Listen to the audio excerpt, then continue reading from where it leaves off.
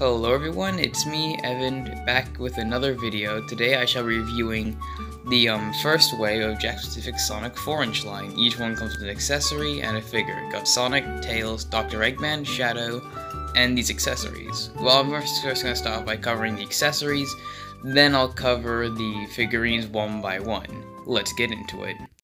Starting things off with modern Sonic accessory, you have the Star Spring.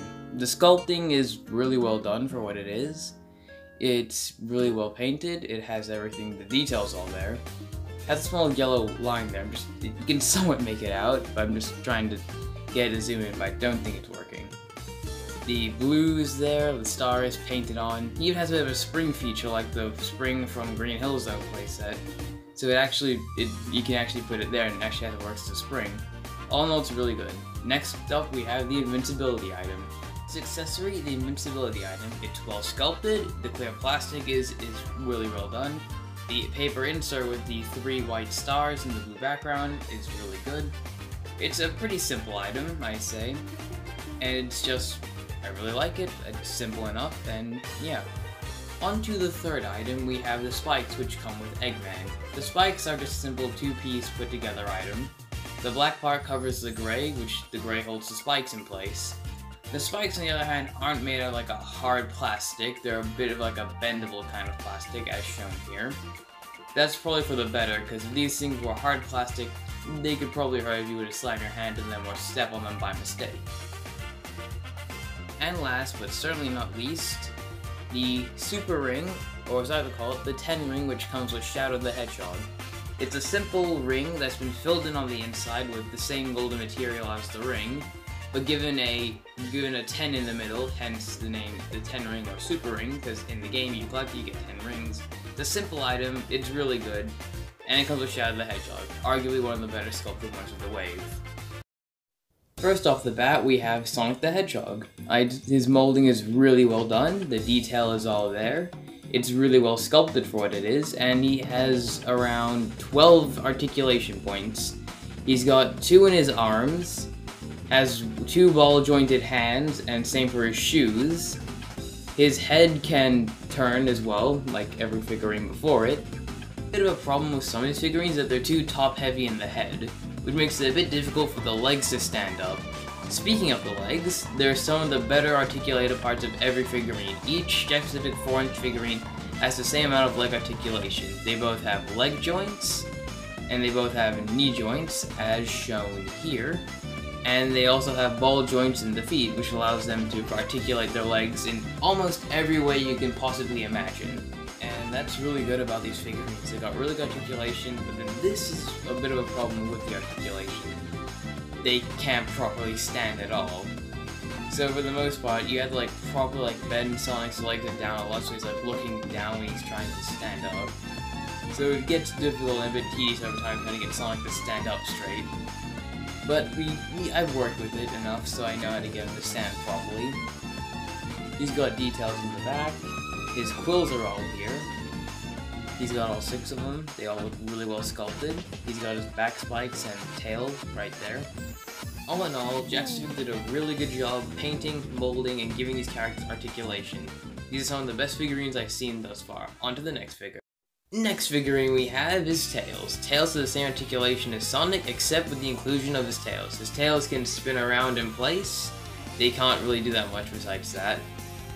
They're really well detailed for what they are. I, they're one of the better parts of him. He has the same articulation in the hands and arms like Sonic does. His head can move, but when you have his tails up, they kind of prohibit it. Tails has the same articulation in the legs as Sonic does, as Shadow and Eggman is also. But I think the problem with my one has the problem with this joint, I think. If you can somewhat see it, hold on, wait, give me a moment. Just zoom it in. If you can see there, you can kind of see the joint has been not placed in the right way. It's like somewhat backwards and it's really hard to move without legs, so Tails is a bit troublesome when it comes to standing up or posing him at all. Another problem with the another problem with the Tails figurine is the tails actually itself. When you try putting them upright, he can't stand, which is understandable. They're pretty heavy weighted. So that's why I keep his tails on the side constantly, because they work as a bit of a stand, so don't worry about articulating his tails. But besides those two flaws, it's a really good figurine. I like it. Now we move on to my personal favorite figurine, Shadow the Hedgehog. The, the sculpt and molding is really well done. He's got his red stripes on his fur, he's got his inhibitor rings all painted up.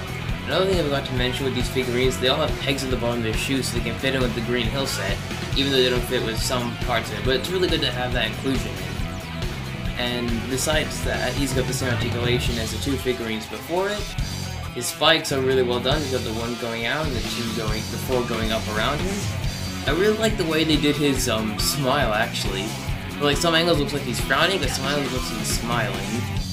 His hands are vastly different compared to Tails and Sonic. He has two somewhat open hands. He's got one with the, he's got his hand open like this, like he's holding a Chaos Emerald. And the other one is somewhat clenched into a fist. There's a small gap in the middle. He's got the same articulation as Sonic and Tails, ball-jointed hand and arms, ball-jointed hover shoes, his legs are the same, but then again he suffers the same problem as Sonic and Tails. He's somewhat top-heavy, so you gotta try and articulate him in certain ways so he doesn't fall over. But besides that, Shadow's actually really well done. Shadow's also really well detailed. He has his chest fur in, and all in all, I really love the figurine for what it is. It's done really well. Last but certainly not least, we have Dr. Ivo Robotnik. By far the more articulated action figure between all, all four of them that have been released for Wave 1. Instead of having no elbow joints, he has elbow joints, surprisingly. Kind of inconsistent, but hey, I'll take it. Free articulation. He's got he's got the ball jointed hands like everyone else before him. He's got arm joints. His head can move, but it can't really move that much thanks to his mustache. The torso is sculpted really well for how it's done. He's got the same leg articulation on par with Sonic, Shadow, and Tails.